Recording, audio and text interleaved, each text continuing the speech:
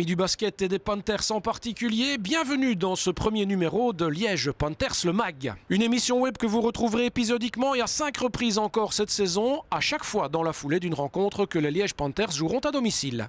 Au sommaire de ce premier magazine, le résumé de la rencontre, à savoir la réception de Willebrook.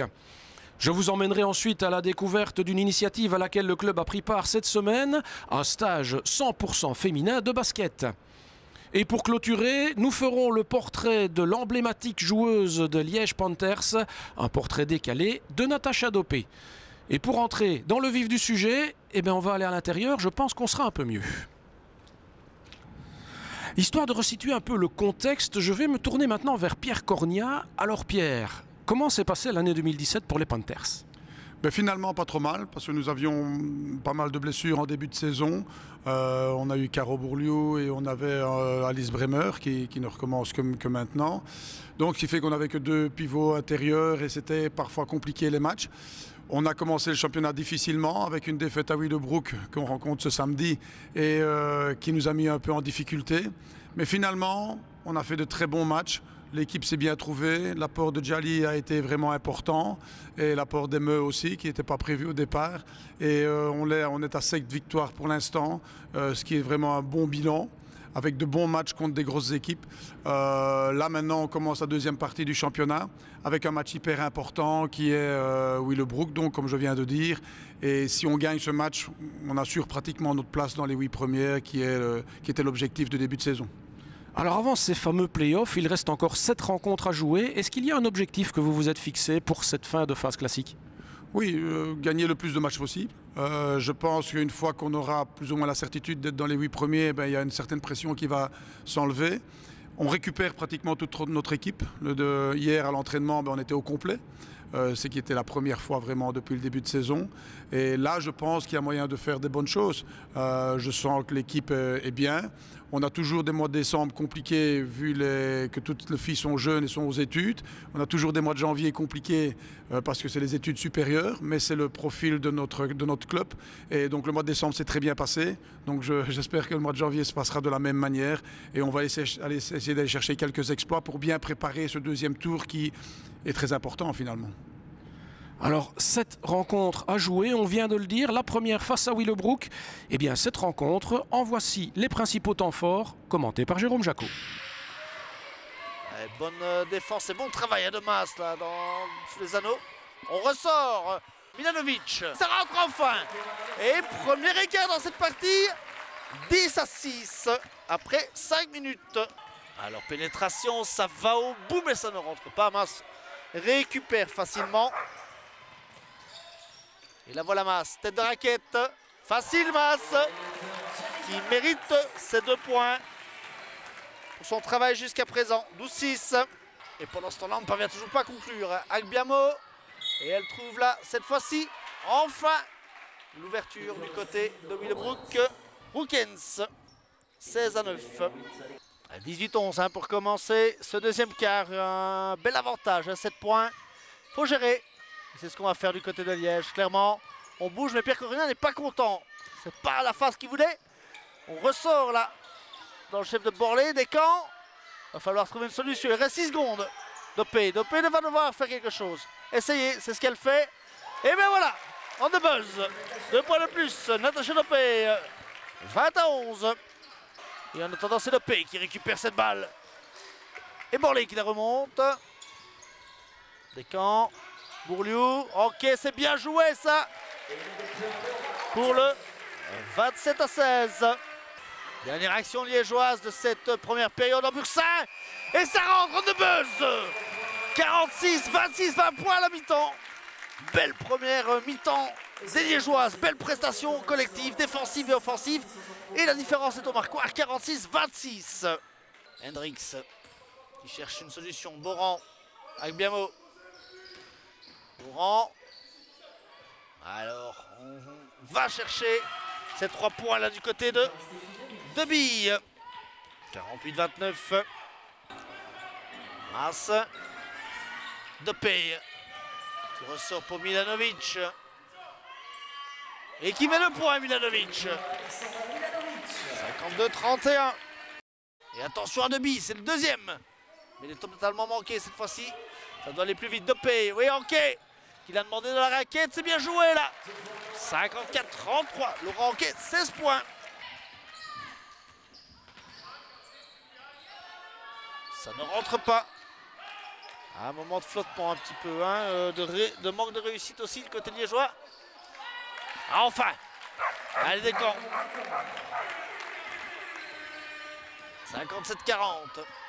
Hendrix. Hendrix qui va toute seule comme une grande et qui va ajouter deux points.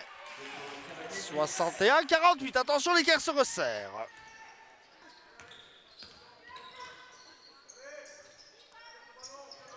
Hookens. Bourran.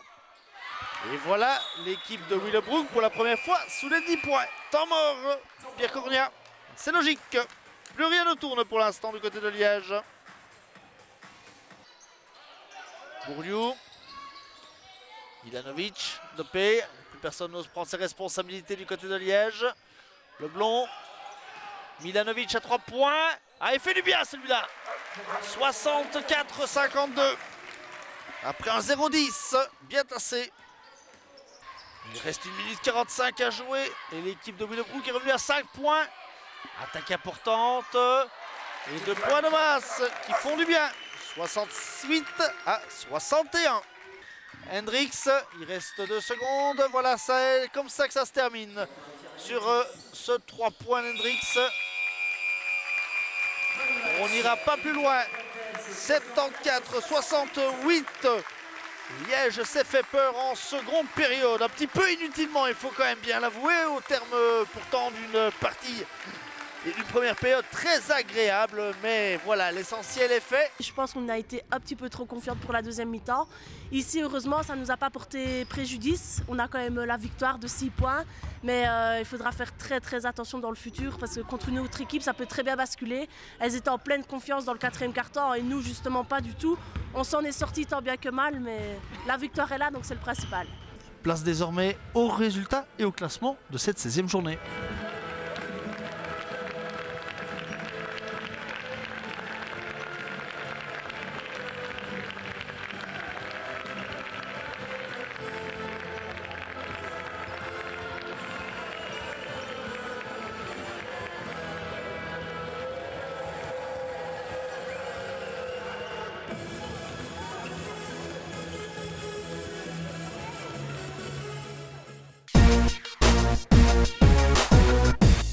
Le MAC, c'est aussi l'occasion de s'intéresser à ce qu'il se passe à l'intérieur du club. Et cette semaine, nous avons été promener nos caméras du côté d'Angleur, où un stage était organisé en collaboration avec la ville de Liège. Liège et les Panthers, une association qui gagne. Pour les demoiselles, bien évidemment, entre 9 et 16 ans, tout vous est raconté par Fontaine et Benjamin Grégoire. Du 2 au 5 janvier, 34 jeunes filles âgées de 9 à 16 ans ont pris part au premier stage de basket 100% féminin. Une organisation issue d'un partenariat entre la ville de Liège, les Liège Panthers et Liège Sport. Nous avons d'abord pensé au niveau de Liège Sport qu'on faisait passer la promotion du sport féminin dans les différentes disciplines d'ailleurs. D'où les nombreux contacts que nous avons ont permis, notamment avec Pierre Cognac, avec les Panthers, de faire ce stage uniquement réservé aux jeunes filles. Une exclusivité du genre qui, au-delà des différences entre garçons et filles, a surtout un intérêt sportif. Pour des filles, c'est toujours plus gai aussi de jouer avec, des filles plutôt qu'avec des garçons parce que déjà au niveau physique, il faut dire ce qu'il y a, les garçons sont quand même plus imposants. Donc le fait de pouvoir jouer contre une fille, ben, on est déjà un peu moins, comment dire, euh, moins timide, on va dire, à aller au contact, etc. Alors que contre un garçon, ben ah non, j'ose pas trop aller au contact. Et ça, ça tombe plutôt bien, parce que dans l'esprit de Liège Panthers, qui gérait l'aspect sportif, pas question de faire dans l'occupationnel. Ce qu'on cherche vraiment, c'est d'avoir du travail. Euh, on cherche à avoir un stage où les filles vont essayer de progresser le plus possible à leur rythme. Euh, tout le monde n'a pas le même niveau. C'est pour ça d'ailleurs qu'on ne veut pas qu'elles soient trop nombreuses. On essaye qu'elles soient minimum 10, maximum 12 par anneau, parce que là, on peut faire du bon travail. Le tout sous l'encadrement des coachs et assistants du club de Liège Panthers, mais également de joueuses de l'équipe première. Tous amènent leur expérience et partagent leur savoir-faire avec un objectif en tête. On est vraiment en train de retravailler toute la technique parce que certaines, malheureusement, n'ont pas encore la technique dans le détail, dans la finesse. Donc je profite ici du stage pour justement leur, leur faire progresser et que tous les détails soient nickel. Bon, tout ça, c'est la théorie. La pratique, ce sont les jeunes participantes qui la font.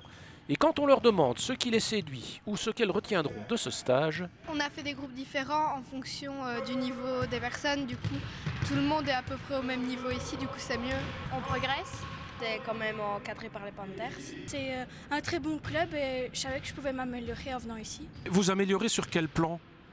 Bah, Sur tous les plans, au niveau shot, au niveau euh, endurance, sur beaucoup de niveaux.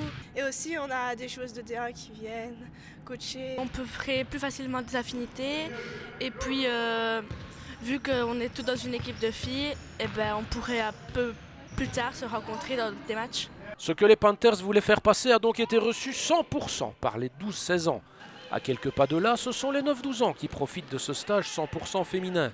Là, le travail est bien entendu davantage orienté sur les fondamentaux du basket, mais toujours avec la même philosophie d'observer chaque fille et de les amener le plus loin possible par rapport à elle-même. Donc on doit tout le temps adapter nos, exigences, donc on fait vraiment de la différenciation et c'est pour ça qu'on veut un travail de qualité euh, et pas euh, un, travail de, de, quantité avec euh, énormément d'enfants et qu'on ne corrige pas. Ici on en a 14, on est deux et on corrige tout le temps. Car l'objectif c'est aussi de faire progresser le basket féminin dans son ensemble. En tant que seul représentant liégeois au sein de l'élite, les Panthers en sont en quelque sorte le port drapeau et le club entend jouer pleinement ce rôle fédérateur.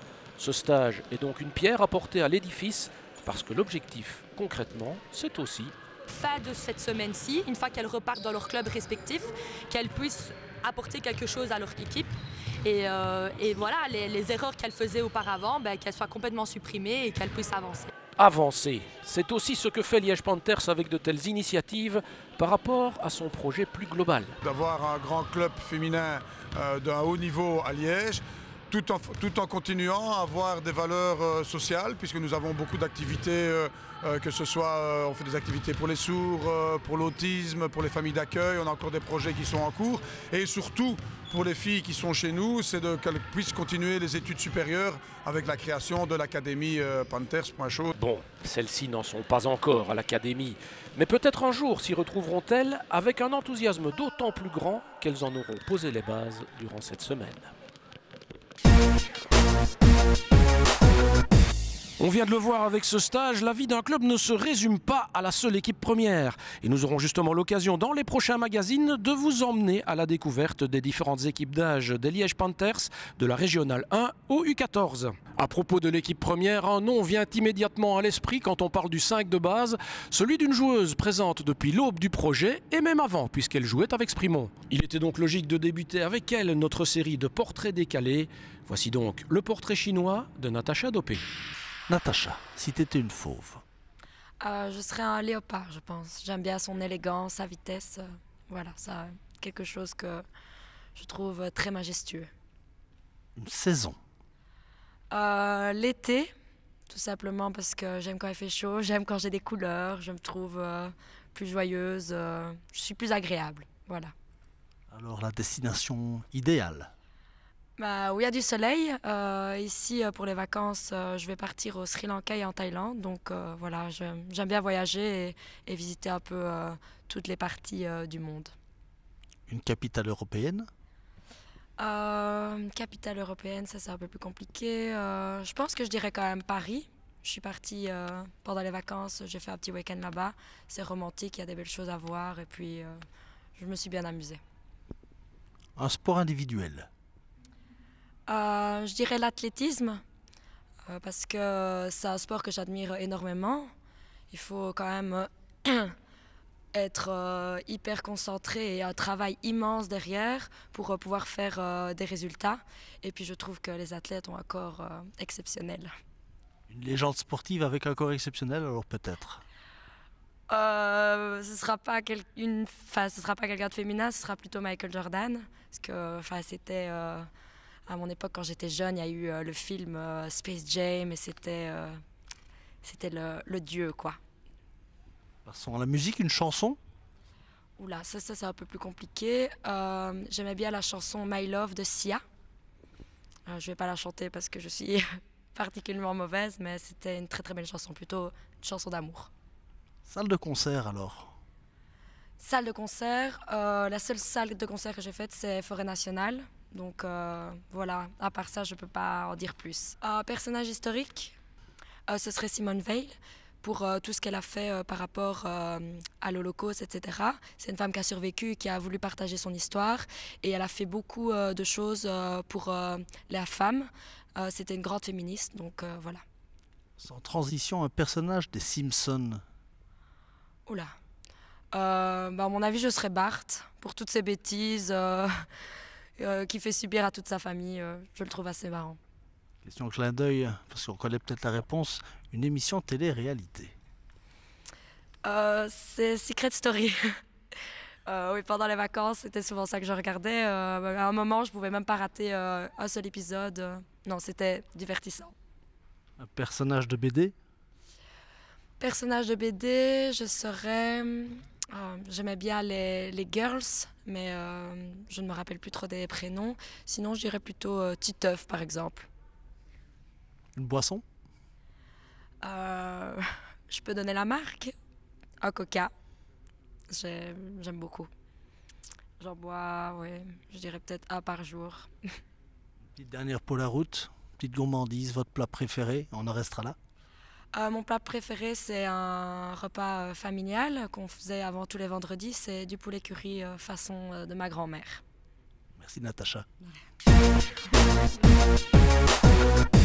C'est sur ce portrait que se clôture le premier mag des Liège Panthers. On espère bien évidemment que ça vous a plu. Le prochain mag, ce sera pour début février, dans la foulée de la rencontre face à Henson. D'ici là, portez-vous bien et restez bien entendu fidèles au basket et aux Panthers.